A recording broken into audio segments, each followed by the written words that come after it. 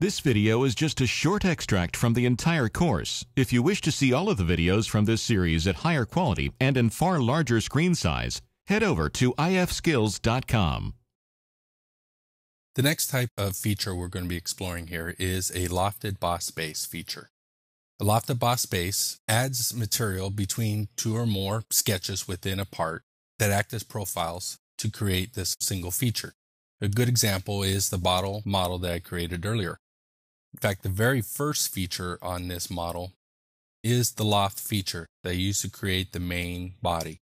This was done with a series of profiles that change. As you can see, it starts as a round circle and then changes into a rectangle with rounded edges, another rectangle with rounded edges slightly smaller, back to a circle to give this shape.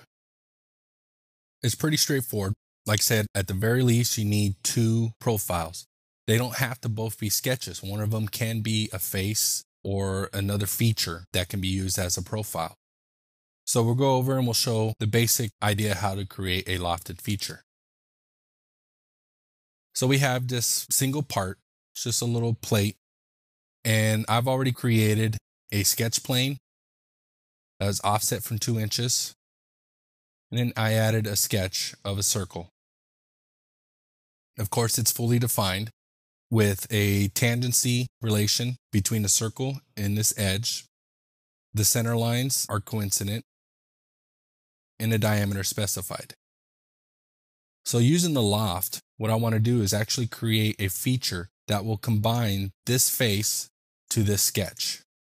So just pre-select this face, hold down the control key and pre-select the sketch. You don't have to pre-select, but it does make things a lot easier.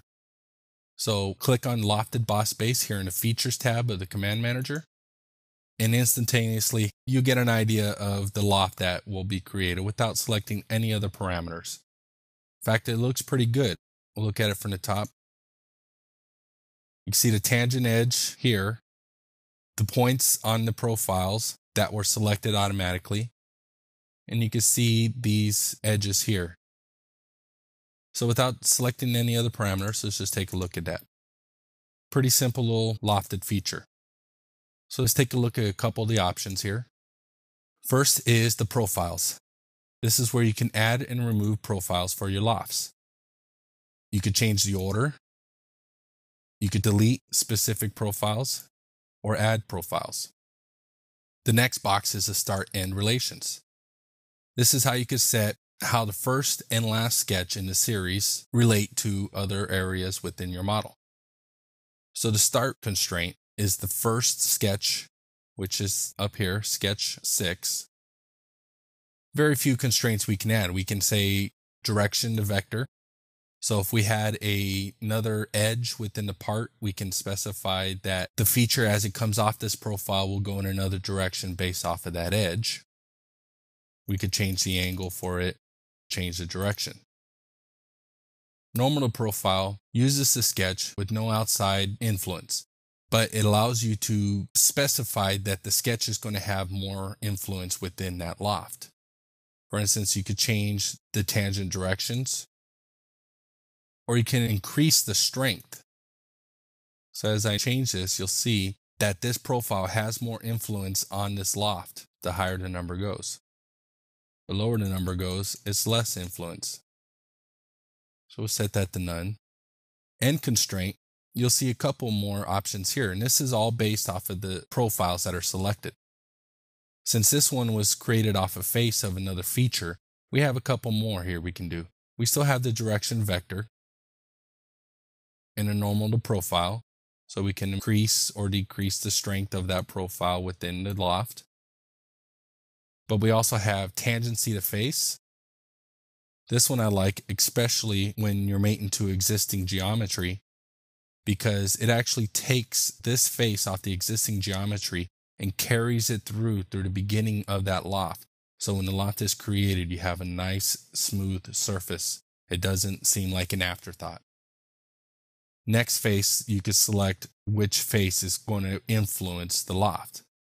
So it went from the outside edges, which made that loft be tangent all the way through, to the top edge, where you'll see that the tangency comes off that top edge, which gives you a little rounded face. Once again, we could change the strength based off of the tangencies of that. And curvature to face is available when you're attaching a loft to the existing geometry, which we are in this case. And what it does, it applies a smooth curvature continuous loft at the start or end based off of the geometry that's selected. In this case, it's not going to make a difference, and that's why nothing's really shown here. But if we had a different angle, different face angle on this, like if we had a slight draft, the curvature to face would bring that loft in and then bring it out as it goes in order to have a smooth, continuous face. So set it back to tangency to face. Guide curves is if we had additional 2D sketches that connect the profiles that will specify how the loft is going to happen. So I'll show you example of that. Let's go ahead and exit out of this, creating the front plane here, just a regular 2D sketch. And I'm going to do this with the spline. So set these so it's coincident with each one of these edges using the pierce tool. So that spline is fully defined. Now we'll just change the angle. So that will act as our guide. So we'll go ahead and start the loft tool again, our two profiles, and we'll select our guide curve. You can see what happens. It actually has a greater influence. Even selecting some of the other ones, you notice sometimes will not work, especially in this case, because this guide is not created to be tangent to the face. So it kind of freaks out. If I was to say, okay, it gets a little warping and rippling going on in here because in order to maintain that guide curve at that one area of geometry, it has to do some funky stuff. So let's just throw that out. Go back and pre-select these.